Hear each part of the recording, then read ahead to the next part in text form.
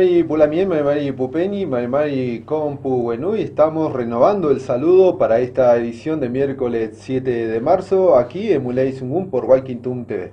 También Mari Mari, ¿cómo está?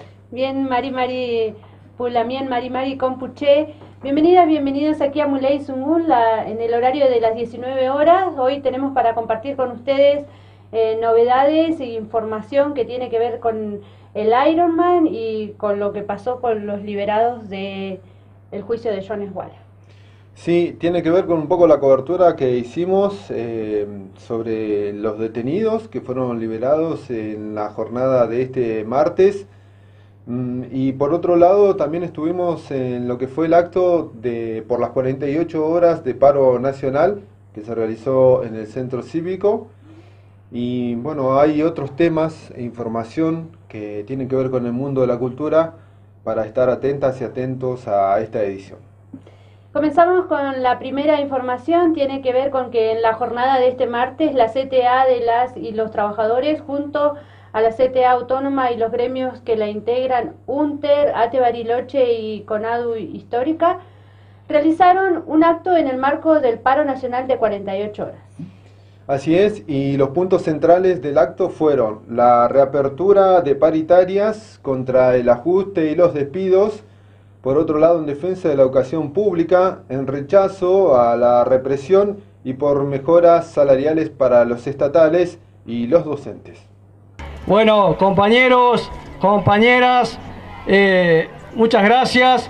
Saludar a todos los que hoy están presentes en esta plaza particularmente a todos los compañeros y compañeras docentes de las escuelas públicas, compañeros docentes de la universidad, estudiantes, eh, abuelazo, trabajadores eh, afiliados de, ATE, de nuestro gremio, eh, y compañeros de las organizaciones sociales, partidos políticos que también están aquí presentes, bueno, saludarlos a todos y qué decir en esta segunda jornada nacional de lucha, eh, este gobierno nacional de Mauricio Macri, que intenta demonizar las luchas, intenta demonizar no solamente a los pueblos originarios, acusándolos de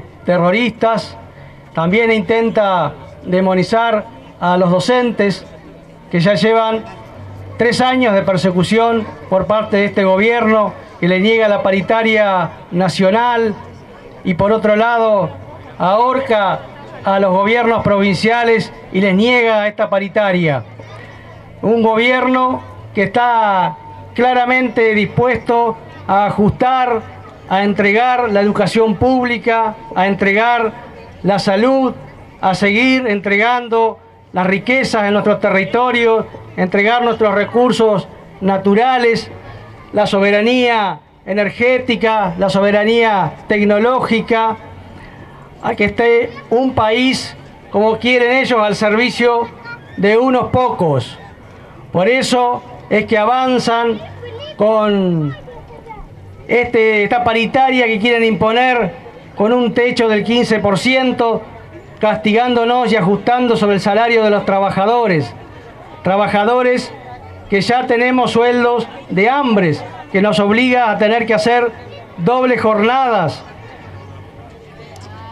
Pero esto tiene consecuencias no solamente sobre los trabajadores y las trabajadoras, sino también sobre toda la población. Somos trabajadores que estamos hoy aquí en esta plaza para reclamar por una educación pública, por un salario digno, para que los organismos del Estado funcionen con recursos, con trabajadores, que cobren un salario digno, pero lamentablemente tenemos que enfrentar, pero por suerte esa unidad crece, como se ha visto en el día de ayer, como se ha visto, como hoy lo podemos estar reflejado en esta jornada de lucha nos queda la masa conseguir construyendo esa unidad para poder derrotar esta política y poder confluir finalmente en un gran paro nacional, activo, multisectorial, que permita poner de rodillas y finalizar con esta política de este gobierno nacional y sus secuaces, muchos de los gobernadores provinciales. Gracias compañeros.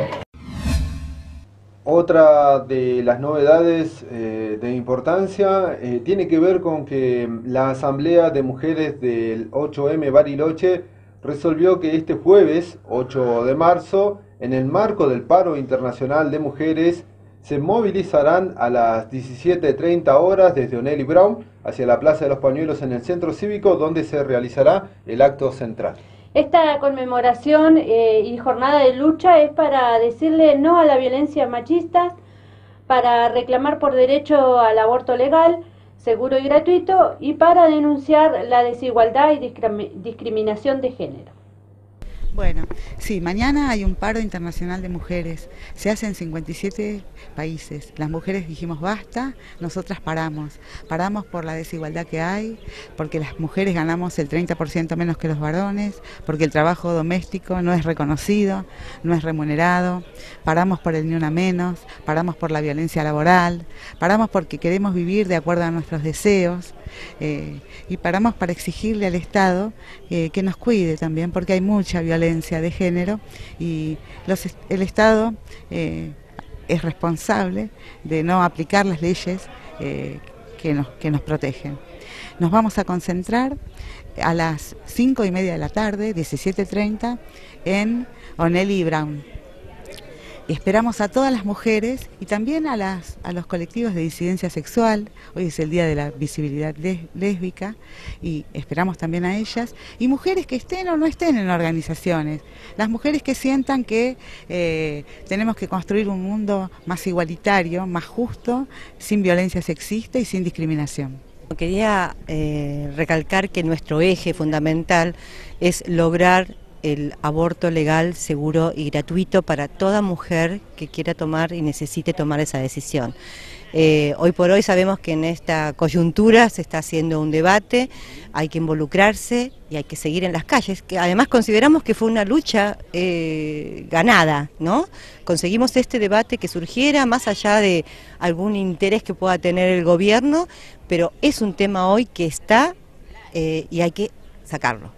El día de mañana va a ser un día que demuestra nuevamente que las mujeres estamos organizadas a nivel internacional, nacional y también en Bariloche. Hemos eh, convocado cuatro asambleas de mujeres que fueron multitudinarias y a partir de las cuales se organizaron estas acciones. El aborto es una de nuestras consignas fundamentales, la legalización y el aborto como política de salud, pero también eh, nos vamos a pronunciar en contra de las reformas laborales y previsionales porque el ajuste y la pobreza la pagamos mucho más fuerte las mujeres y también la reforma previsional eh, ha, hecho que muchas mujeres que accedían a la moratoria jubilatoria, mujeres amas de casa, dejen de hacerlo. Un 86% de quienes se han jubilado con moratorias jubilatorias eran mujeres y muchas de ellas amas de casa que, pudieron a través de esa moratoria eh, em, reconocer su, su trabajo como trabajo formal, que es, que es otro eje reconocer el, trabajo doméstico como trabajo. También queremos mencionar que desde las organizaciones conseguimos un colectivo que va a llevar a las mujeres a la marcha, es gratuito, sale uno desde el kilómetro 13 a las 16.30.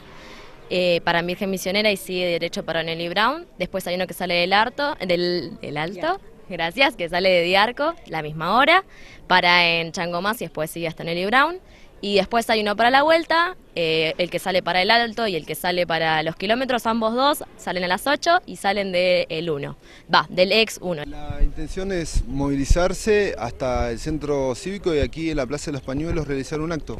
Sí, sí, acá se va a realizar un acto, también hay intervenciones preparadas por las compañeras, hay un documento, que se hizo en forma conjunta, que se va a leer, y bueno, es, es, eso, ¿no? Y es estar en el movimiento internacional, porque es un paro en todo el mundo, y que Bariloche estuvo presente el año pasado, fuimos y eso que llovía, ahora parece que viene un lindo día, así que esperamos a muchas compañeras.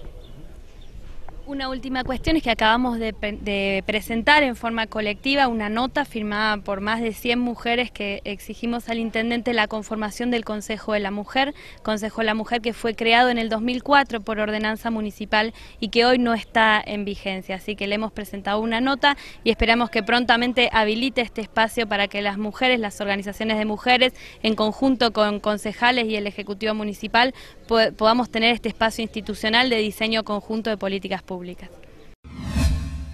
En el acto realizado por la CTA de las y los trabajadores junto a la CTA Autónoma en la Plaza de los Pañuelos del Centro Cívico, Soraya Maicoño, que es la vocera de la en Resistencia del Departamento de Cuyamen, habló acerca de la liberación de las y los detenidos en la jornada del día lunes. Las personas fueron apresadas en el marco de la concentración en el juzgado federal por el juicio al lonco Facundo Yonesguala. Mari Mari Nien Lafken Mapumo, Mari Mari Compulamien, Mari Mari Compulamien Guaychafé, Mari Mari Compulamien Fomoca Compulamien Guentru, Mari Mari Compu Wenui, Rume Maniun Compu Wenui, Fachanto Kume Kefao Mum, Mari Marica Compulamien, docentes.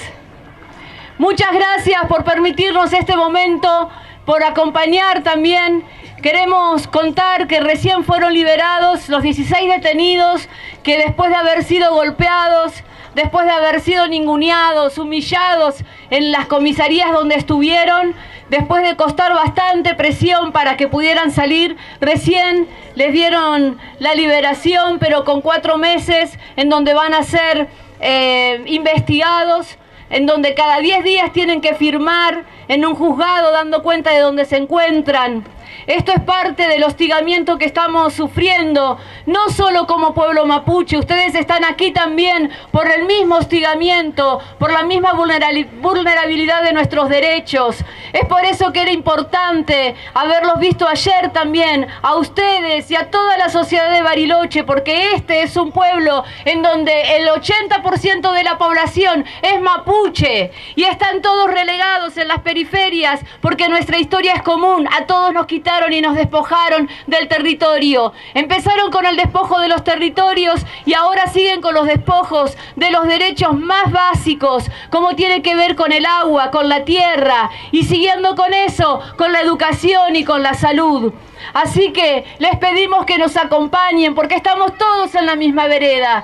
Estamos siendo gobernados por seres oscuros que lo único que les importa es ser serviles a las empresas transnacionales, que a nosotros nos quitan el territorio, nos secan los ríos, no nos permiten avanzar como y ni proyectarnos como mapuche. A ustedes les quitan lo mínimo, lo básico, que es tener un sueldo digno para después tener condiciones dignas para poder educar. Estamos todos bajo la misma situación, todos somos oprimidos, por lo tanto es importante acompañarnos. Es importante reconocer la identidad que también traemos cada uno de nosotros, porque si empezamos a asumir nuestra identidad, vamos a ver con qué población estamos trabajando y qué necesidades tienen cada uno de esos niños que ustedes educan. Nehuel Compulamiel, Nehuel Loco Huechafe, Facundo Yonesguala, no la extradición. Rume Bañunca Compulamien, Katamí Alcún, gracias por su escucha, por el espacio que nos dieron. Y bueno, vamos a terminar con un fuerte afafán, con mucha fuerza, para que todos nuestros reclamos no es que sean escuchados, sino que realmente nosotros los hagamos valer y los hagamos respetar, de una vez por todas. ¡Ya, ya, ya, ya, ya, ya, ya! Y continuando con este tema que fue la liberación de las personas detenidas en la concentración del juzgado federal, el juez de garantías Marcos Burgos resolvió en la tarde de este martes liberar a las 15 personas que fueron detenidas el día lunes en los hechos ocurridos en el juzgado federal por la sentencia de extradición a Facundo Yonesguala, por otro lado, siguen imputados en una causa penal que se abrió. Sí, luego de su liberación pudimos hablar con Mario, Mario Fierro y el joven Choique, menor de edad, donde relatan eh, de qué manera fueron apresados y del proceso judicial actual. Yo estuve detenido hasta hace una hora atrás, eh, nos procesaron, vamos a estar procesados por cuatro meses. Eh, por una supuesta causa por resistencia a la autoridad, este, eh, romper cosas en la calle y, tirar piedras. Eh, nosotros desde ya este, no estamos de acuerdo con la acusación porque de eso no hicimos nada. estamos convencidos de que cuando vean las filmaciones esto quedará en la historia, pero sí que lo que querían dar es una muestra clara del poder represivo del Estado y, que nos quieren mantener en silencio eh, y que nos quedemos este, de alguna manera tranquilos. Eh, así que eso, yo lo que recalco es eso, que es una muestra clara de lo que quiere hacer el Estado, tanto en Chile como en Argentina, en, el actual territorio que ocupa Chile y el actual territorio que ocupa Argentina, eh, o sea, en todo el Gualmapu, que nos quiere reprimir, nos quiere mantener silenciados y no quiere que el pueblo mapuche se levante y que siga con sus reivindicaciones que son por lo demás legítimas. Bueno, Peñi, en su caso, ¿qué, fue lo que le sucedió? bueno, a mí yo en realidad estaba, veníamos con mi padrastro y los, dos amigos de él y ahí fue cuando lo, detuvieron y bueno, a mí me esposaron, todos me pegaron. Eh, después me tuvieron acá en la comisaría segunda y me estuvieron hasta las 5 de la tarde esposado. Eh, lo único que me dieron fue un pedazo de pan y un pedazo de carne y después me, me decían si quería agua. Yo le decía sí, por favor, y me decían, bueno, anda a comprarte, me decía y yo estaba esposado, todo. Y bueno, después, después de las 5 de la tarde me llevaron a un hogar y ahí me tuvieron custodiado, tuve custodiado por todo, hasta las 11 de la noche hasta que llegó mi mamá. Y nada, pues, como si yo fuera un delincuente porque me tenía, no era la necesidad de tenerme, tenía cuatro policías adentro y tres patrulleros afuera. Y cuando mi gente, Peñi y la Lamien, me quisieron llevar un jugo para tomar porque no me, no me daban nada, ni agua, nada. Y para ir al baño tenía un policía se me ganaba la puerta. Y bueno, eh, me pasaron, me, me dieron un jugo que, y una masita. Y bueno, después después bueno la gente quisieron hablar conmigo, no, quisieron, no, la policía no la dejó y bueno lo sacaron y bueno, después de mi liberación, eh, estuve acá esperando a mi peña que lo libere. Y bueno, esto es una persecución que siempre se vive. Eh, de este lado, del otro lado, en Gualmapu, en Pueblo Mapu. Y bueno, ojalá que lo liberen al Peñi, al Huechafe Facundo Yoneguala. Y bueno, pronto vamos a tener su liberación. Bueno, eh, justamente el caso del Peñi Choique em, fue particular en el sentido, particular entre comillas, ¿no? Porque fue menor y fue golpeado y fue esposado justamente, ¿no? Eh, nosotros el momento de la detención eh, le, decíamos a, las fuerzas represivas que él era menor de edad, que no debían hacer lo que estaban haciendo. Le hicieron caso omiso, bueno, nos propinaron golpes tanto a nosotros como a él, adelante de todo el mundo, que eso está registrado, hay muchas imágenes dando vuelta. Yo recién las veo, porque bueno, estuve incomunicado todo este tiempo y creo que al verla eh, te da mucha más bronca y más impotencia, porque les aclarábamos que era un menor de edad, que no estaba haciendo nada y que no era la manera de actuar con él.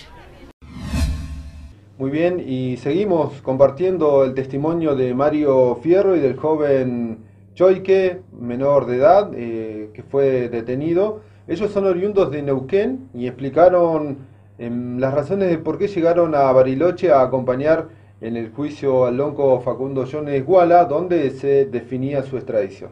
Eh, nuestro, nuestro motivo nos acercamos justamente por eso, para acompañar al LOF eh, en ese momento que queríamos saber cuál iba a ser la situación del lonco de acá en más.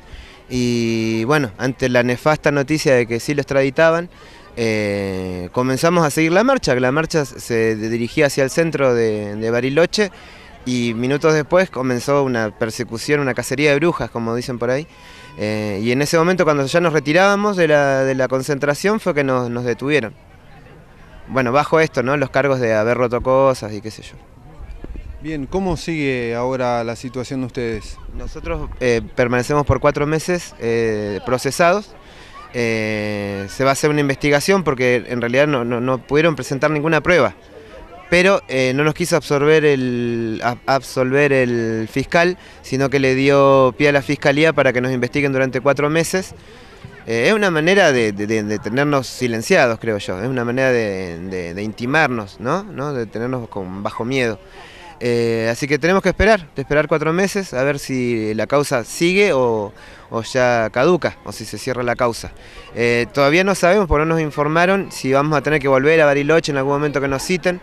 Lo que sí que mañana vamos a hacer las denuncias pertinentes, pues yo tengo heridas de bala de goma, que no fueron atendidas cuando las mostré, pues estaban sangrando y no, en, ningún momento me atendieron, y varios golpes al momento de la, detención, al, igual que, el choique. ¿Cuántos fueron los detenidos en total? Éramos ocho eh, varones y, eran siete en la mien que estaban en una, en una celda contigua, luego las trasladaron a las Lamien por separado y a nosotros primeros, a cuatro compañeros se los llevaron a otra comisaría y luego a dos. Entonces, digamos que nos separaron para que también la gente que estaba acá afuera eh, se disminuyera, ¿no? Porque a medida que nos iban trasladando, la gente se trasladaba a los otros lugares de detención. Diví y triunfarás, como dijo Julio César. Yo creo que esa era la intención, porque no, no, no estábamos ni incómodos ni nada, pero el hecho de separarnos también nos dejó un montón de dudas, ¿no? De dónde nos llevaban, qué iban a hacer. Acá rato venían, nos sacaban para afuera, nos amarrocaban, nos pedían datos, nos sacaban fotos, nos tomaban las huellas. Nuestras huellas nos tomaron más de 16 veces a cada uno. Así que entendíamos que eran trámites que estaban por demás, era una manera de intimidar nada más.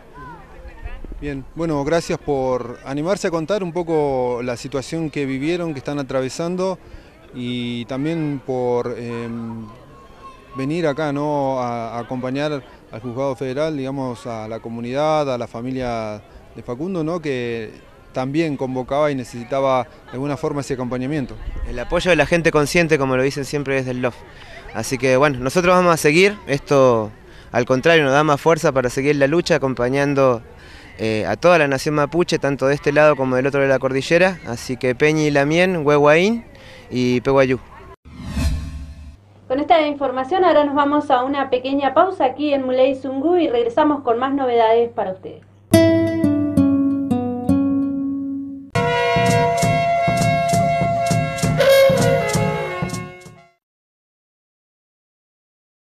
Mientras duró este silencio, una mujer fue víctima de violencia de género. Llama al 102. Las 24 horas, los 365 días, estamos para ayudarte.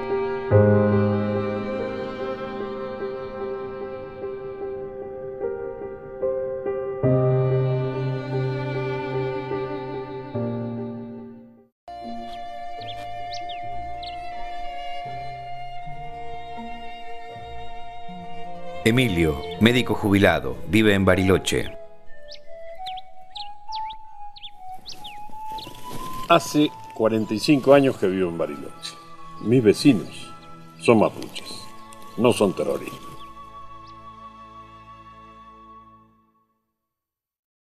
Este 8 de marzo, en Bariloche, nosotras paramos porque nos son motivos. Todavía mujeres no usamos de todos los derechos. Porque queremos que nos respeten como mujer, como madre, como abuela y reclamamos nuestros derechos. Porque queremos que el Estado garantice el derecho de nuestras hermanas mapuche de volver a la tierra que heredaron sus abuelos. El 8 de marzo en Bariloche nosotros paramos porque queremos garantía de seguridad para las chicas jóvenes. Porque decidir sobre nuestros cuerpos no debería ser un delito. Porque estamos cansadas de que se mueran mujeres jóvenes en la Argentina como consecuencia de abortos clandestinos.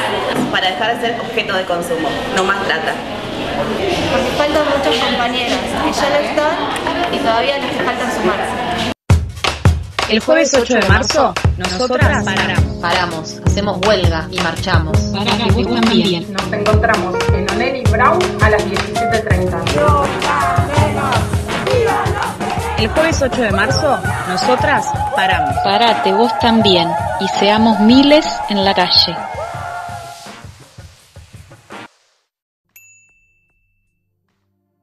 Ahora con Bus Plus, viajar en micro es mucho más fácil.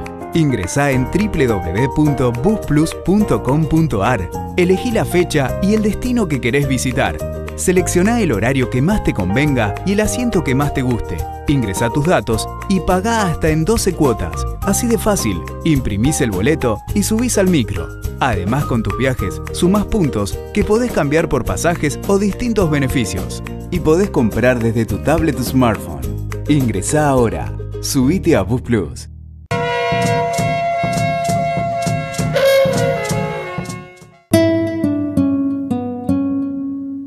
Retomamos el pulso informativo aquí en Muley Zungun por Walking TV para continuar con la cobertura que realizamos en el acto que se realizó en la Plaza de los Pañuelos del Centro Cívico, donde la CTA de las y los trabajadores junto a la CTA Autónoma eh, llevaron adelante un acto en el marco del paro eh, nacional por 48 horas. Ahora es el turno de escuchar la palabra de Jorge Molina, secretario general de la CTA Río Negro.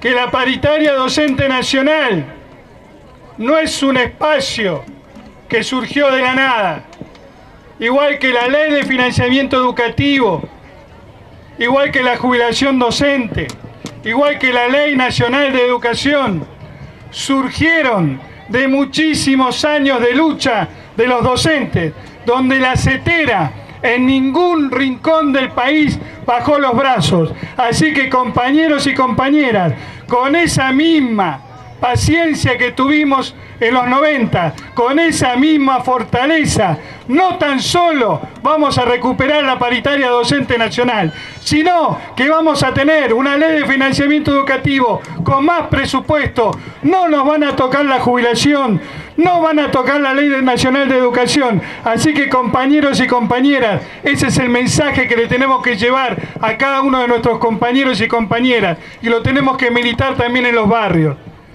Una cuestión que me parece también muy importante de remarcar.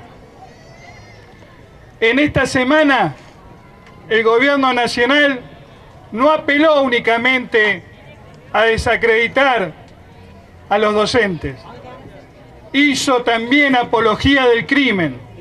No sé si vieron todos la foto del compañero Baradel con una pistola apuntándole a la cabeza, haciendo una sátira de que esa es la cláusula gatillo. Como le dijimos ayer en el acto, si tocan al compañero Baradel, nos tocan a todos los compañeros y compañeras. Si tocan a un docente, nos tocan a todos. Si tocan a un trabajador o una trabajadora, nos tocan a todos, compañeros y compañeras. En los 90 quisieron hacer lo mismo nos estigmatizaban, poco más como decían de Moreira, ¿no? Vago, mal entretenido, así éramos los docentes. Y desde el aula, con la pedagogía de la resistencia, generamos justamente todas esas cuestiones que mencioné recién, como la ley de educación, la paritaria, la ley de financiamiento, entonces nosotros en estos tiempos, compañeros y compañeras, esto principalmente para los que son más jóvenes, no se puede ser docente hoy si no son militante de un derecho social. Compañeros y compañeras, ser docente hoy es ser militante en el aula, en el barrio, en cada lugar que estemos. Por supuesto, también agradecer, como hizo hoy José, Edgar, la presencia del abuelazo, que es un ejemplo también de lucha, la presencia de todos los sindicatos que están presentes. Y eso tiene que ver con otra consigna también cuando convocamos para la marcha. La cuestión de la escuela pública no es una cuestión únicamente de los docentes. La escuela pública es del pueblo y la defienden los trabajadores y las trabajadoras. Hay una fecha que es muy importante, porque justamente las compañeras, las mujeres, han sido históricamente el colectivo más perseguido. Y no es casual que a los docentes también se les quieran pagar los peores salarios, porque justamente el 90% de la docencia argentina son mujeres, pero las compañeras nos van a dar el ejemplo pasado mañana con un paro que va a ser absoluto y que todos los sindicatos tenemos que acompañar. Y en esa fecha tenemos que volver a recordar a esta mujer que también ha hecho docencia, a la compañera Milagro Salas, que ha hecho docencia con la militancia social. Seguramente vamos a tener, compañeros y compañeras, muchas más marchas. El gobierno salió ya a redoblar el esfuerzo. Salió a decir que el índice de adhesión al paro era mínimo, que éramos muy pocos en la marcha, a desconocer todo lo que está pasando. Nosotros tenemos que garantizar que cada vez que nos convoque la CETERA, cada vez que convoque la CTA, cada vez que convoque todas las centrales, tenemos que estar en la calle, porque esa es la garantía de que no van a poder mentir más y que se le van acabando los días. Este gobierno en el 2019 se va a ir gracias a la resistencia popular. En cada una de las marchas seguramente están caminando con nosotros el compañero Santiago Maldonado, el Rafita y el compañero Carlos Fuente Alba diciendo ¡Viva la escuela pública! ¡Viva la educación pública! Paritaria Nacional Docente ya. ¡Fuerza compañeros! ¡La victoria nuestra! Y vamos ahora a continuar con más de los testimonios que pudimos obtener luego de la liberación de las personas detenidas en la concentración en el juzgado federal eh, aquí en nuestra ciudad. Luciano de la radio autónoma Piuqué, una vez en libertad, explicó que su detención fue cuando estaba realizando la cobertura periodística en el marco de una transmisión de radio de la zona que aguardaban el fallo por la extradición del lonco Facundo Jones Walla. Sí, estábamos realizando la cobertura para estaba realizando la cobertura para Radio Autónoma Piuqué en conjunto con la red de, de enfoques. Eh, bueno, y en un momento la, creo que el equipo de Cover o, eh, procede a detención, así avanza sobre nosotros, eh, pegándole a compañeras que se encontraban marchando y bueno, y yo eh, comuniqué que era un trabajador de prensa y este nada, me patearon, me sacaron las cosas y me tiraron gas pimienta sin, sin mediar palabra, ni diálogo, ni nada para, entender que yo estaba trabajando ahí. Bueno, em, vos habías comenzado temprano la cobertura periodística em, en lo que fue la concentración, ¿no? Justamente alrededor de las 9 de la mañana se había convocado para esperar el fallo en el juzgado federal. Así es, estuvimos cubriendo toda la jornada y bueno, fuimos levantando testimonios eh, sobre, bueno, antes y bueno, cuando se conoció el, fallo. Bueno, ¿cómo fue el trato, no? Eh, una vez que te apresaron y después te trasladaron a la comisaría.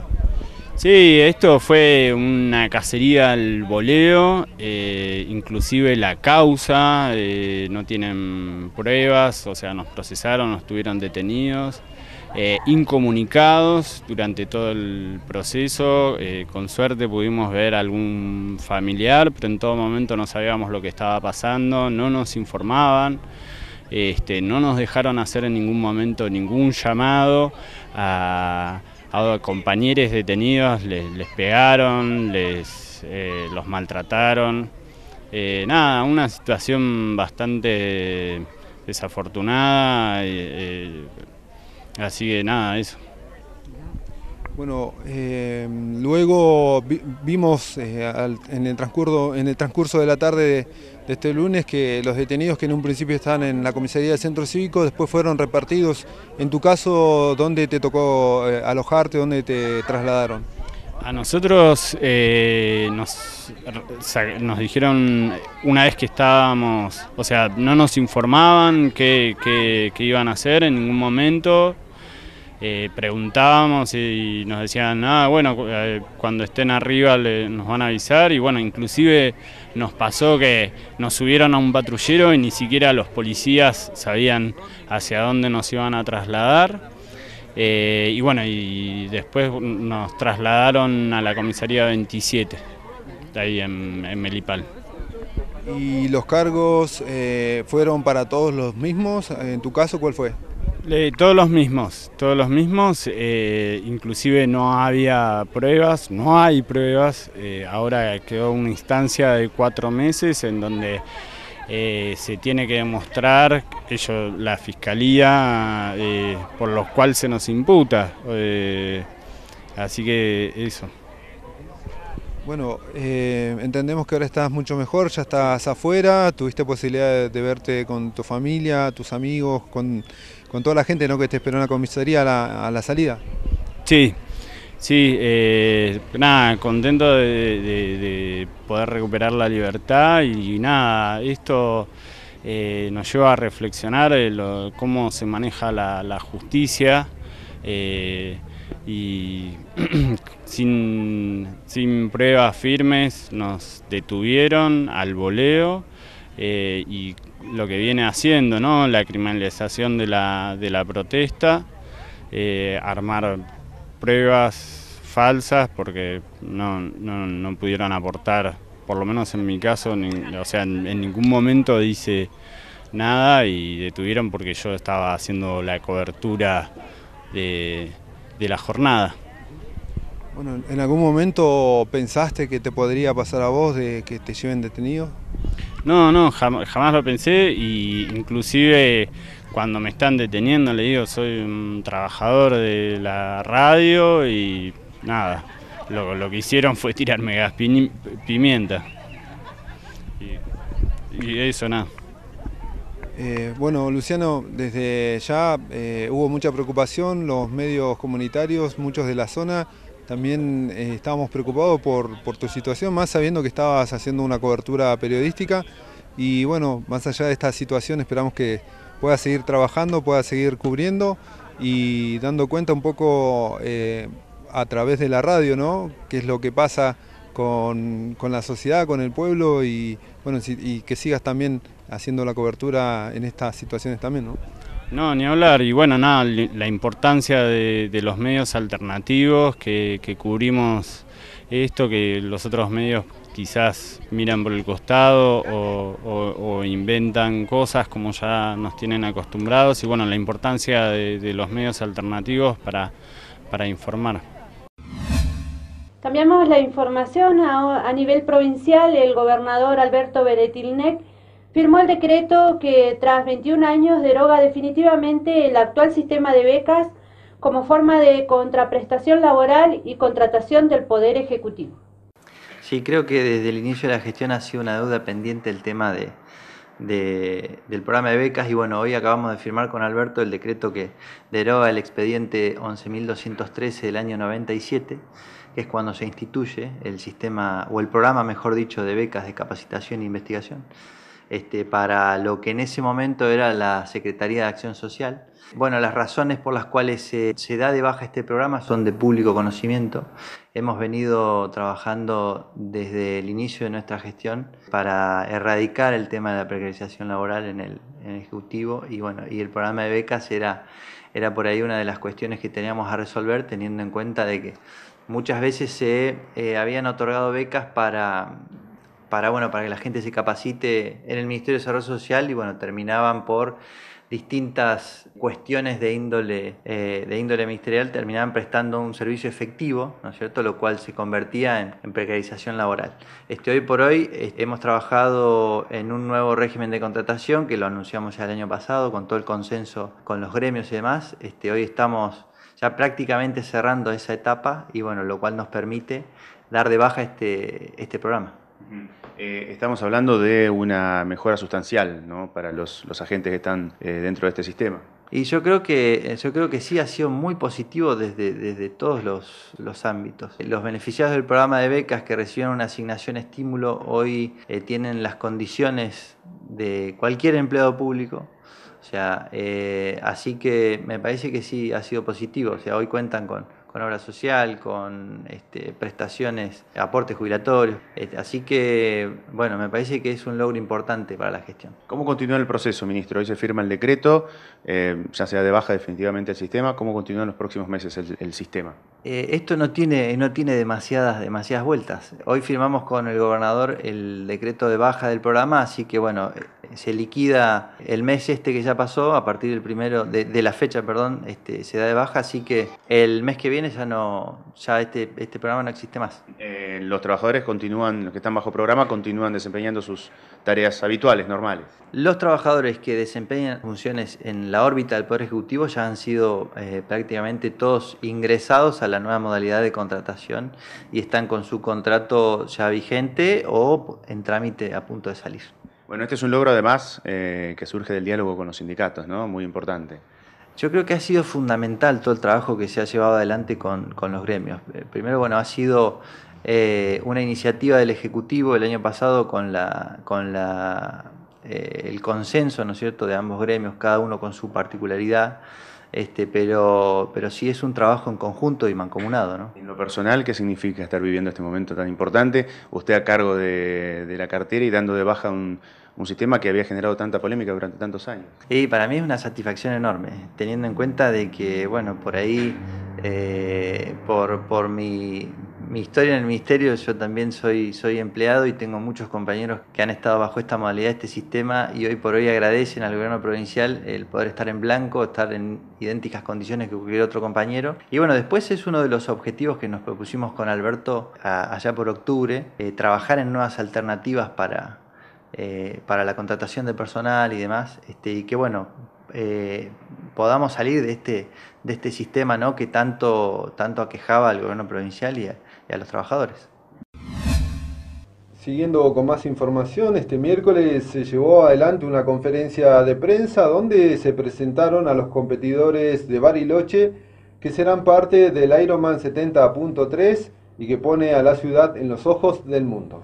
Esta competencia de desafío eh, se realizará este próximo domingo 11 de marzo y la ciudad recibirá alrededor de 1.600 competidores provenientes de más de 30 países. Estamos re contentos con esta, con esta presentación. Eh, veníamos insistiendo hace varios días con la gente que se encarga de la prensa, la comunicación. Tenemos que presentar a nuestros competidores, aquellos de los que la ciudad está orgulloso, que estamos realmente muy contentos de que 40, 40, 41, no me acuerdo exactamente el nombre, el número, 39 atletas barilochenses sean parte del Ironman. Realmente es un orgullo para nosotros, una ciudad que tiene muchísimo deporte, muchísimos triatlonistas y que puedan presentarse en una de las competencias más importantes eh, del orden mundial. Hace dos años, siempre vengo diciendo que hace dos años que venimos trabajando para que el Ironman esté acá. Fue un trabajo silencioso, duro, junto con la provincia, con la gente de Ironman Argentina, y estamos a solo cuatro días de poder presentarlos. Sabemos que el orgullo que tenemos por nuestros atletas va a hacer que cualquier inconveniente que se cause en la ciudad por el Ironman sea despejado, porque le vamos a pedir a los vecinos que salgan a apoyar a, a toda la competencia, pero en especial a nuestros competidores, que son parte de nuestra ciudad, que son parte de nuestros vecinos, son los que viven aquí, son los que muchas veces los vemos entrenar en nuestras calles, en nuestros, en nuestros lagos, en, la montaña.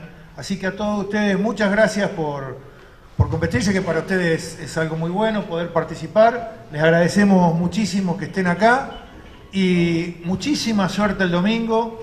Eh, de mi parte voy a ser muy breve. Una vez más agradecer eh, a la ciudad de Bariloche, en nombre de Gustavo el municipio, Daniel provincia, a los corredores, porque este sueño que empezó, como decía Gustavo, hace dos años, lleva muchísimo trabajo y toda esta última etapa que es la que uno empieza a ajustar los detalles finos y hay que tener eh, toda la infraestructura y el personal bien dispuesto para que las cosas salgan, realmente se ha dado como pocas veces.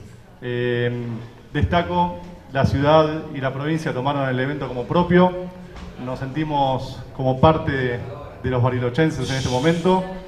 Y bueno, uno cuando ve en las calles los carteles de Ironman o que la gente está hablando de Ironman, habla de un trabajo muy importante del municipio, de la provincia, de los corredores, porque cuando Yanni el primer día que abríamos inscripciones me dijo más o menos 15, 20, que quiero darles una invitación especial. Hoy tenemos 39 chicos y alguno más que está queriendo sumarse, ya número 40. Así que quiere decir que en la ciudad esto pegó muy fuerte y son los embajadores para que cuando esta semana ya tengamos los 1.650 corredores, le transmitan lo que tienen ustedes acá todos los días. Ayer estaba con Diego Canestrasi armando la parte de swim y le decía, pongamos la, la M ahí que se ve el tronador de fondo, que es hermoso. Eh, no, eh, claro, lo tienen tan a mano todos los días que les pido a ustedes que redoblen el esfuerzo para transmitirle a los 600 extranjeros o a los 1.000 eh, restantes argentinos que vengan de lo que es Bariloche, la belleza. Y el otro día discutíamos que en la charla técnica por ahí no decirles que no busquen su mejor tiempo, eso se va a dar naturalmente porque el circuito realmente es duro, pero que tomen esas fotos de lo que es Bariloche porque va a ser realmente una carrera única. Así que a transmitir eso, a que siga la gente apoyando el evento, como decía Gustavo, que el domingo vengan a acompañar y a disfrutar el evento porque realmente es muy lindo y que hagamos sentir a todos los que nos visitan como la carrera única y una ciudad única en el mundo. Ahora les pedimos prestarle atención a la siguiente nota porque hasta este viernes 9 la Asociación Alas de Águila está inscribiendo para el curso básico y gratuito de lengua de señas en el Centro Administrativo Provincial. Es el lugar, el espacio donde se están realizando estas inscripciones. Además, eh, se pueden realizar cursos anuales de primer y segundo nivel con un costo de 300 pesos mensuales que tiene como objetivo recaudar fondos para el trabajo que realiza la Asociación de Sordos Bariloche. Estamos eh, realizando la inscripción para los cursos de lengua de señas. Estamos abriendo la inscripción a todo el público. Vamos a estar 7, eh, 8 y 9, eh, de 8 de la mañana hasta las 13.30 horas. Haciendo la inscripción tenemos curso básico gratuito, que es abierto para todo el público, con una duración de 5 meses. Después tenemos el primer nivel y segundo nivel, que es anual y tiene una cuota de 300 pesos por mes. Con ese dinero se, se, está trabajando para hacer la Asociación de Sordos de Bariloche. Y la idea de esto es fomentar la lengua de señas, tomarle más importancia porque hay muchas personas sordas que necesitan ser entendidas. Entonces por eso está abierto a toda la comunidad y el curso básico se basa en eso, en que todos puedan aprender por lo menos lo básico para poder comunicarse. Bueno, eh, han comenzado en la jornada de hoy. Hay, mm, bueno, ya gente anotada, interesada.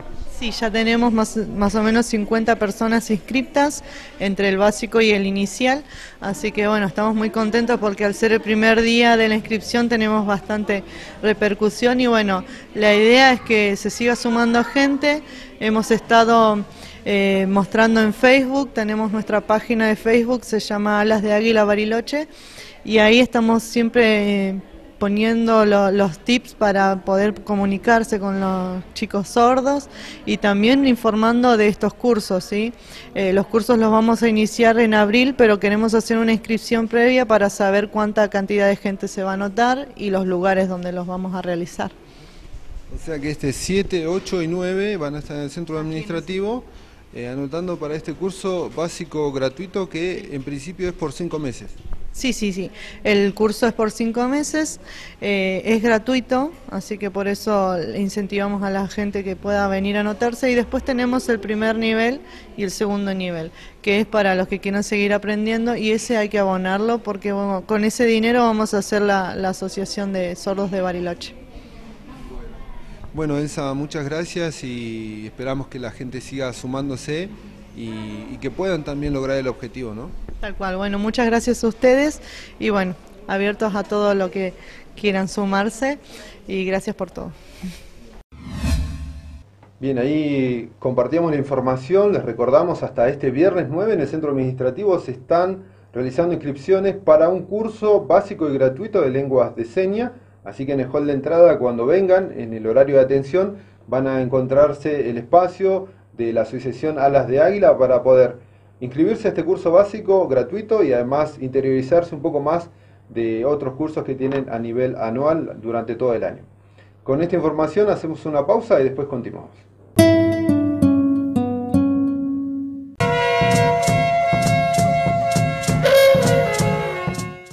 Ahora con Bus Plus, viajar en micro es mucho más fácil.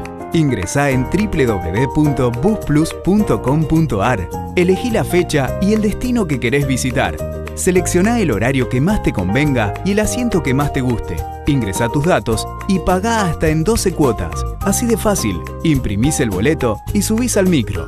Además, con tus viajes, sumás puntos que podés cambiar por pasajes o distintos beneficios. Y podés comprar desde tu tablet o smartphone. Ingresa ahora. Subite a Bus Plus. El 8 de marzo es un paro internacional de mujeres que se está organizando en más de 45 países de todo el mundo. En Bariloche nos organizamos para el paro. Porque nuestro trabajo en casa no es valorado. Porque ganamos el 30% menos que los varones por hacer el mismo trabajo. Queremos decidir cuántos hijos tener y cuándo. Porque matan a una mujer cada 18 horas. Porque de camino a casa quiero ser libre y no valiente. Porque sufrimos todos los días diferentes violencias. Porque nos queremos vivas y libres. Porque nos queremos vivas y libres. Ni una menos. Nos queremos vivas y libres. Este 8 de marzo te convocamos a marchar juntas.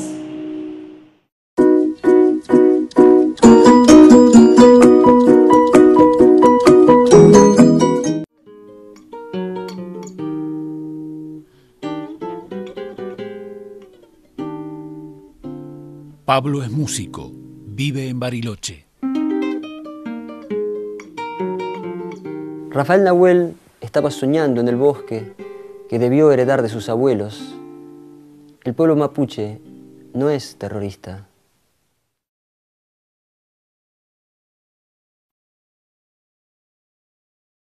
Mientras duró este silencio, una mujer fue víctima de violencia de género. Llama al 102. Las 24 horas, los 365 días, estamos para ayudarte.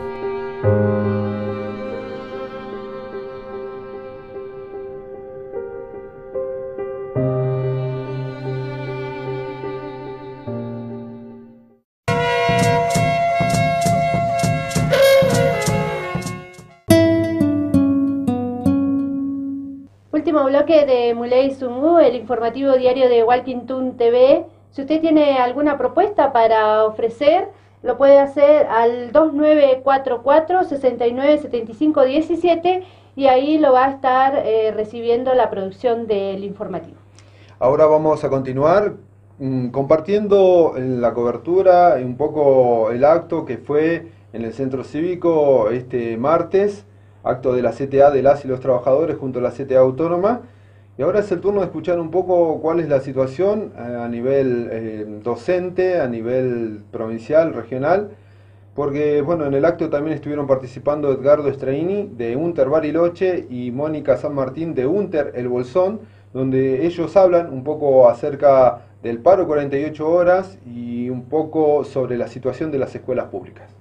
Gracias compañeros, acá estamos eh, todos los docentes y las docentes de Bolsón eh, para marchar en conjunto, porque sabemos que es la única manera, compañeros. Si no nos unimos, no vamos a poder derrotar a este gobierno.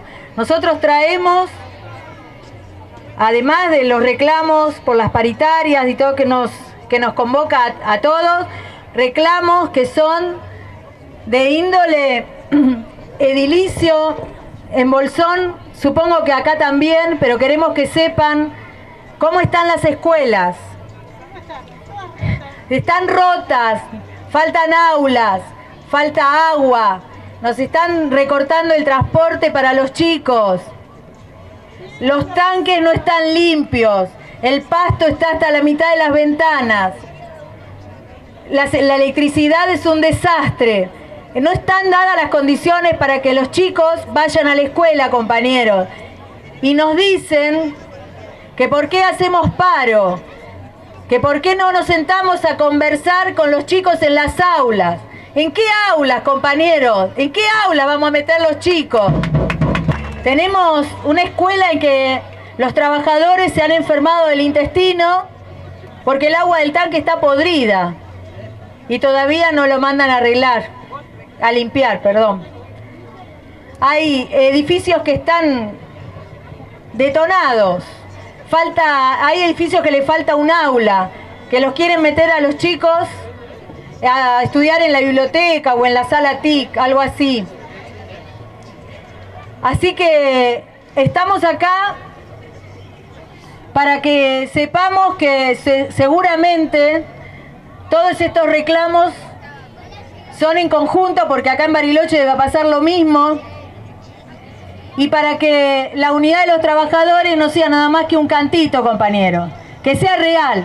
En primer lugar quiero agradecer a todas y a todos los trabajadores y trabajadoras de la educación, a todas y a todos los trabajadores estatales que están hoy en la figura de ATE, a todos los compañeros y compañeras de los movimientos sociales que están presentes en la figura del CETEP y también a todos los compañeras y compañeros, porque para nosotros son compañeras y compañeros del pueblo originario mapuche, que nos enseñan día a día a cómo tenemos que luchar. Después, decirle al gobernador de nuestra provincia que todos los trabajadores que estamos acá presentes y trabajadoras, tanto de educación como del Estado, le hemos dicho no al 15%.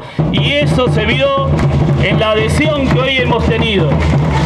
Tenemos el 95% de adhesión en San Carlos de Bariloche y el 90% en toda la provincia de Río Negro. Por lo tanto, le decimos al gobernador que haga una propuesta seria que tenga que ver con las proyecciones de inflación y que también recupere lo que hemos perdido en el 2016 y en el 2017. Sino que no se siente en la paritaria, porque para escuchar la misma propuesta simplemente bajando un tramo, ya le estamos diciendo que no. También le queremos denunciar hoy y fuertemente al delegado regional que ha bajado una planilla para que los directivos informen algo netamente ilegal, que informe quiénes están adheridos al paro. Ya mismo le decimos que con eso no nos va a dejar, no nos va a dar miedo. Y por último, decirle a todos y todas que esta lucha la tenemos que ganar, compañeros y compañeras. Estemos presentes en cada lugar, vamos a tener muchas movilizaciones y hasta la victoria siempre. Como le veníamos comentando a lo largo del informativo de hoy, eh, fueron liberadas las personas detenidas en la concentración en el juzgado federal. Así es, Lamien, eh, lo veníamos informando luego de un control de detención que se realizó en en tribunales aquí de la provincia de Costanera y O'Connor. Eh, se resolvió después eh, la liberación de las personas que fueron detenidas, pero se abrió, eh, quedaron imputadas en una causa penal y nosotros tuvimos posibilidad de recopilar algunos testimonios de la gente que estuvo detenida. ahora es el turno de escuchar a Alejandro Gómez Peña, que él forma parte del movimiento popular Patria Grande y nos habla un poco cuáles fueron las razones o las circunstancias en la cual él fue detenido en esta jornada de lunes en el juzgado federal. Bueno, mi detención en particular se dio como por afuera de, todo el conflicto. Eh, el grueso de, los compañeros y las compañeras avanzaron por, por la calle Moreno. Nosotros nos quedamos un poco atrás, digamos, y después subimos por Coaglia hasta Gallardo. En Gallardo vimos un poco ahí el quilombo que se había armado en el banco Credit Cop y ahí encontramos los compañeros en la calle Villegas y Gallardo, en la esquina. Eh, ya la policía haciendo detenciones arbitrarias y, al azar, digamos. Eh, y en ese momento vimos eh, que estaban llevando detenido a un compañero menor de edad, un chico de 16 años, de Neuquén Capital. Y en ese contexto veo a una compañera mayor de edad eh, que estaba siendo zamarreada por la policía. Ahí tratamos de meternos un poco y cuando nos tratamos de meter eh, vinieron un par de policías y nos, ya nos llevaron al piso y al patrullero. Eh, vos estabas participando en, principio durante la mañana, la jornada que comenzó en la concentración en el juzgado federal, como parte también de, la, de la organización que decidió acompañar, ¿no? Sí, claro, nuestra organización ya hace rato que viene acompañando el conflicto, nos hicimos presentes el viernes pasado en todo lo que fue el, juicio en el, gimnasio, ahí en la calle Sandy, y consecuentemente con eso también acompañamos de las 9 de la mañana de ayer eh, la resolución de la sentencia, de la sentencia ilegal que le, proporcionaron como extradición a Facundo Jones Walla. Bueno, por un lado... Eh, si uno ve los medios, ¿no? La lectura que hace es como que toda la gente que participó fueron violentos, pero a medida que vamos conociendo las historias de cada uno de los detenidos y detenidas, como que entendemos que la gente estaba eh, fue a manifestarse y después en las corridas la policía prácticamente los cazó, ¿no? Sí, yo creo que ahí hay que hacer un análisis como en dos planos, digamos. Conocemos el modus operandi que está utilizando el macrismo desde que asumió quizás bancar un poco cuando se le viene el pueblo encima y después salir a cazar directamente, eh, en moto, en patrullero o caminando. Eh, pero bueno, se había dado todo en marcos tranquilos durante la jornada de ayer a la mañana. Eh, y cuando se conoció la sentencia, bueno, ahí se, ocasionó el conflicto y cuando digo que hay que medir siempre con varas diferentes, es que, bueno, por supuesto la gente responde con, algunos elementos contundentes, pero siempre del otro lado hay bala de plomo, también hay palo y claramente no es, no es la misma proporción de, de, conflicto, digamos, ¿no? Por supuesto que el Estado y la fuerza represiva del Estado responden mucho más duro y después, así, cruda y llanamente, salieron a cazar compañeros y compañeras por todo el centro de Bariloche. Tal es así que la, la sentencia que nos lee la Fiscalía hace un rato eh, no tiene ninguna prueba de nada en concreto, sino que habla de, de un grupo uniforme que fue haciendo destrozos por diferentes calles de, la ciudad y que no, acusan a nadie en particular. Por eso también desde la defensa bueno, se pudo resolver de que nosotros salgamos libertad, se nos va a hacer un, un procesamiento que va a durar la investigación unos cuatro meses, pero estamos convencidos que los 15 compañeros y compañeras que estábamos detenidos eh, no, estamos, no, estamos, no somos responsables del hecho que, que nos imputan. Digamos.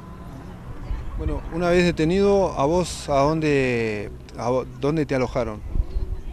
Nos trajeron a todos y a todas eh, directamente a la comisaría número 2, acá al lado del centro cívico.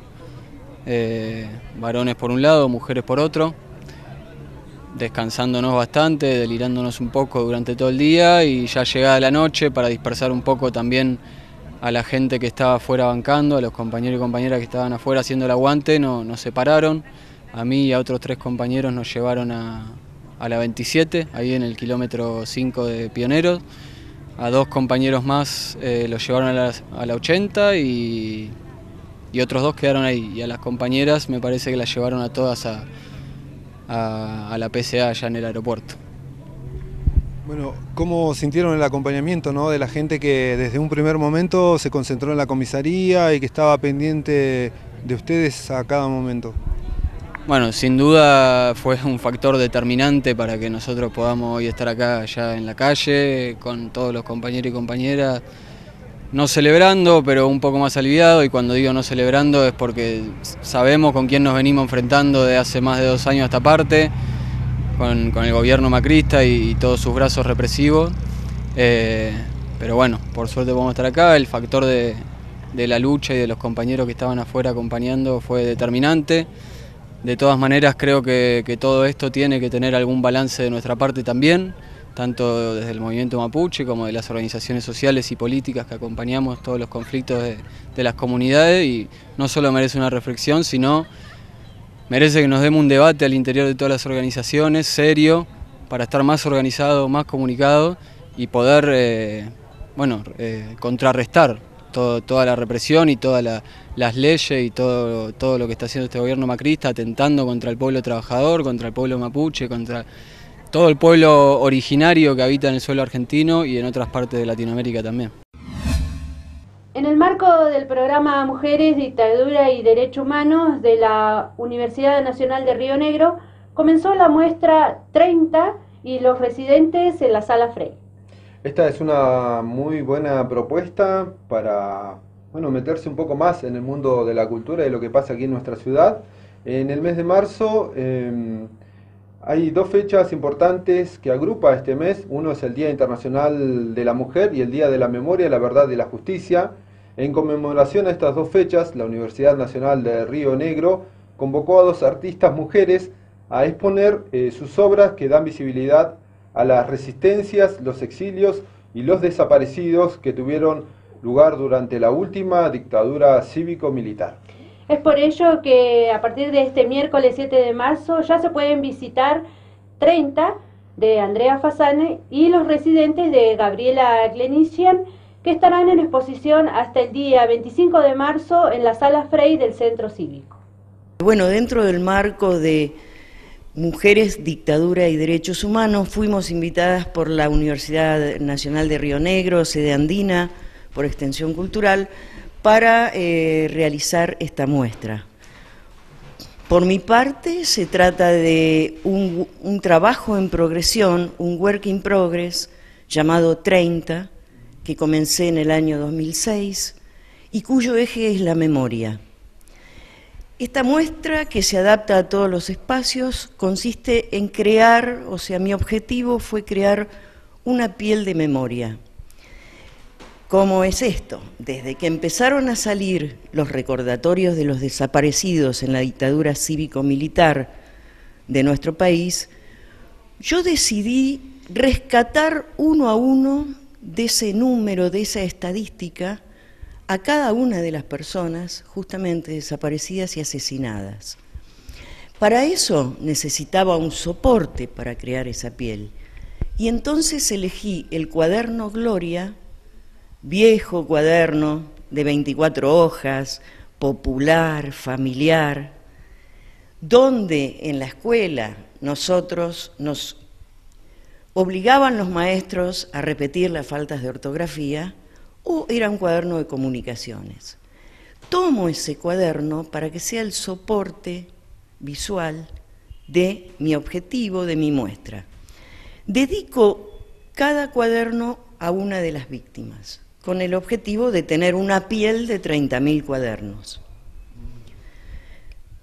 Vamos a ver que en cada tapa está el número 30, empecé en el año 2006, a 30 años de la dictadura, 00030.000. Al abrir el cuaderno nos vamos a encontrar con la foto de la víctima del desaparecido y el número de cuaderno. Ese número se repite en la contratapa. En el resto de las 23 hojas, yo invito a escribir, a escribir el nombre y el apellido de quien pertenece el cuaderno. Pienso que con esta acción, con esta repetición, verdaderamente se imprime en la memoria, que es mi objetivo, no olvidarlos, tenerlos presente. Y en este escribir realmente se produce un mantra, y en ese mantra los recordamos, los revivimos, porque cada uno de ellos tenía una vida y una historia. Ese es el, núcleo de esta obra. Esta obra va creciendo, va creciendo no solo con el número de cuadernos, sino también con la interacción que se produce con la gente, con la gente que va a las muy distintas instalaciones. Por tu parte, Gaby, ¿qué es lo que mm, estás eh, también eh, compartiendo en esta muestra? Eh, bueno, yo estoy más en la plástica, digamos, lo mío es escultura, cerámica, hay un poema y grabado. Y mm, bueno, yo vengo trabajando también hace años con madres, eh, los míos hay muchas madres, madres de Plaza de Mayo, pero también madres de Malvinas, del Paco, madres que han perdido. Entonces yo trabajo los soportes, los débiles soportes y las resistencias. Las resistencias desde el material y también la resistencia del ser, resistir para poder seguir. Bueno, más que nada tiene que ver con eso. Es un lenguaje plástico, pero también desde esa motivación. Y, bueno, después la reflexión es personal. Bien, y por esta muestra conjunta eh, que se está realizando en la sala Frey del Centro Cívico, que se denomina 30 eh, y mm, los residentes, seguimos escuchando un poco más la palabra de Andrea Fasani y Gabriela eh, Klenitjian acerca de cómo se conocieron y sobre el trabajo que realizan eh, vinculado a los derechos humanos. Eh, hemos trabajado en otras ocasiones cuando... En, yo vivía en Buenos Aires. Sí, yo soy de Buenos Aires, Gaby es, es, residente de aquí, de Bariloche, pero hubo una ocasión particular en, Lanús, ah, en Lanús, en, el en Lanús, cuando se inaugura el Parque Paseo de la Memoria, años atrás, donde, bueno, Gaby también me invita, ella tenía otra escultura, y me invita a presentar 30 con otro formato, porque era al aire libre, etcétera. Y bueno, ahí proyectamos un video que está online, un documental acerca de esta obra, y, e interactuamos con sonido. Sí, así que ahí, estuvimos. un encuentro, un, encuentro. de escultores que estuvo un mes trabajando en el parque. Bueno, se hicieron las obras y después André hizo el cierre con 30, que fue hermoso también. y trabajamos antes en Metrovía, sí, hemos trabajado. Hemos nos trabajado, conocemos sí. De hace muchos años. De hace muchos años. Muchos sí. años trabajando también. Quiero eh, también decirles que, que en lo que respecta a 30 es una obra que se ha mostrado en muy distintos espacios porque está pensada para adaptarse a los espacios, en espacios públicos como la Plaza de Mayo, el solar de la iglesia de la Santa Cruz, en el espacio de la memoria Haroldo Conti, en el Centro Cultural Santa Cruz de Río Gallegos, en, el, cen- en la Casa de la Memoria de Resistencia, Chaco, en el Museo de la Memoria de Rosario, recientemente estuvo cuatro meses allí, en el Museo de Arte Moderno de Bahía Blanca, en fin, eh, trabajo, Ahora, trabajo, en este momento, es maravilloso. trabajo mucho con abuelas, este, así que también en universidades. A nosotras nos interesan muchísimo los ámbitos educativos, estar en contacto con los alumnos, primaria, secundaria, universitarios y sobre todo establecer un, diálogo con ellos. Así que muy contenta de primero compartir la muestra con, con Gaby, mi colega y amiga, una gran escultora, y estar en Bariloche. Muy importante estar acá. Bueno, y una ocasión especial, ¿no? Eh, la, la memoria, eh, los derechos humanos y bueno, en Bariloche también teniendo en cuenta ¿no? el contexto que, que sucede justamente. Justamente, justamente, dentro de todo este contexto. Seguimos. Bien, muchísimas gracias y recuérdenos, eh, por favor, para invitar a la gente a esta muestra, hasta qué fecha van a estar y en qué horario se puede ve- venir a visitar. Bueno, va a estar desde, desde hoy hasta el 25 de marzo, eh, aquí en la sala Frey, eh, en los horarios de la sala y creo que van a ser extendidos. Van a extenderlos. Ahí estaba la invitación entonces para todos para que puedan visitar allí en la sala Frey del Centro Cívico. Les recordamos que la muestra es hasta el día 25 de marzo. Así es, Lamien. Y bueno, ahora cambiamos nuevamente el eje de la información y seguimos compartiendo un poco más de lo que fue la presentación de los competidores locales que van a participar en el Ironman 70-30. Fue en la sala de prensa del municipio. Allí se pudo conocer un poco el desarrollo de lo que va a ser esta competencia a nivel internacional y por otro lado pues se pudo escuchar el testimonio y la palabra de uno de los competidores y la gente de turismo de Río Negro, el intendente y la gente que está a cargo de la organización del Ironman 70.3. Simplemente agradecer a todos el compromiso y el profesionalismo con que se ha llevado adelante esta carrera.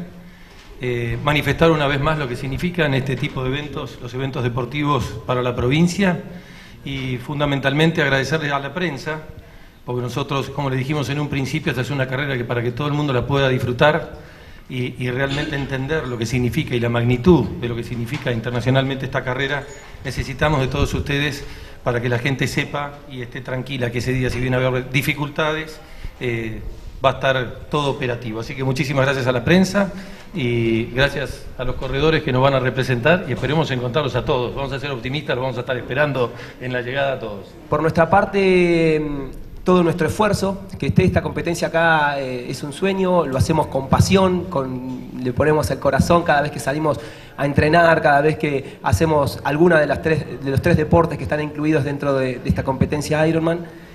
Y el compromiso nuestro es ese, el, el esfuerzo que vamos a hacer y eh, el, el día domingo eh, también lo mismo es lo que tenemos que hacer todos, ¿no? Desde nuestro lugar, todo el mundo sabemos que va a hacer su esfuerzo. Nosotros vamos a, disfrutar y todos tenemos que disfrutar de lo que es el Ironman y de que esté acá en Bariloche. Así que mm, eh, les pedimos que justamente que a todos los que vayan a ver, alentar, que disfruten de este show que va a ser fantástico. Si bien nos van a dar una mano a nosotros en la competencia, le van a dar una mano a Bariloche y a, todos esto nos va, nos va a volver de alguna manera. Así que nada más que darle las gracias Eh, y bueno, ya queda muy poco, para nosotros es la cuenta regresiva, comienzan, comienzan los nervios, pero también comienza el, trabajo más duro que es también recibir a la, gente de afuera y, justamente mostrar a nuestro Bariloche con, la mejor cara. En lo personal, eh, el lago es más o menos lo mismo, la temperatura grado más, grado menos está prácticamente igual. Eh, en el Moreno es más agradable, es, como un poquito más amigable que el Nahuel. Eh, pero de todas formas, la clave no está exactamente en la temperatura del agua. Para mí, en lo personal, está en, creo que coincidimos en la mayoría, en la, etapa de ciclismo, los primeros 17 kilómetros es en el circuito chico, eh, digamos en el sentido desde Yao Yao hacia, eh, hacia el centro, ¿no? pasando por Bahía López, la subida del Montañés, o sea, las, subidas que ya las tenemos todas fichadas, ¿no? la subida del punto panorámico, la subida del kilómetro 16, 17 la de Bahía López, son todas eh, subidas muy, muy abruptas y también con descensos muy, muy fuertes. Entonces, los primeros 17 kilómetros para mí va a ser eh, la clave, digamos, del desgaste mayor de la competencia. Y como la particularidad que va a tener Bariloche va a ser esa, esa sección de montaña. Pero, pero bueno, después eh, esta competencia de por sí es, muy, muy desgastante y, va a depender un poco de la regularidad que, que tengamos en lo que sigue, ¿no? Así que, bueno, los esperamos a todos eh, el domingo y muchísima suerte para nosotros y para Bariloche. Y luego de esta información del Ironman 70.3 en Bariloche, pasamos a las farmacias de turno de este miércoles 7 de marzo. Farmacia Acuario en Juan Manuel de Rosas 498. Farmacia Azurmendi en Moreno 730 y Farmacia Austral, que se encuentra abierta hasta las 23 horas y está ubicada en la calle 9 de julio 1018. Les repetimos las farmacias de turno para este miércoles 7 de marzo. Acuario en Juan Manuel de Rosas 498, Azurmendi en Moreno 730 y Farmacia Austral en 9 de julio 1018 que está abierta hasta las 23 horas. Bien, y luego de las farmacias de turno llegamos al final de Muley Sumun por Walking TV. Nos reencontramos mañana a partir de las 13 horas con más Muley Sungu aquí en Canal 2 de Aire, en Canal 10 de ABC Video Cable. Les agradecemos a todas y a todos el acompañamiento y no se olviden que salimos por el Canal 2 de Aire, Canal 10 de ABC Videocable y estamos en las redes sociales como Walking Tum TV. Memoria Pupeñi Pulamuen, Capeu Cayal. Ule Fachantu Capeu Cayal Lamuen.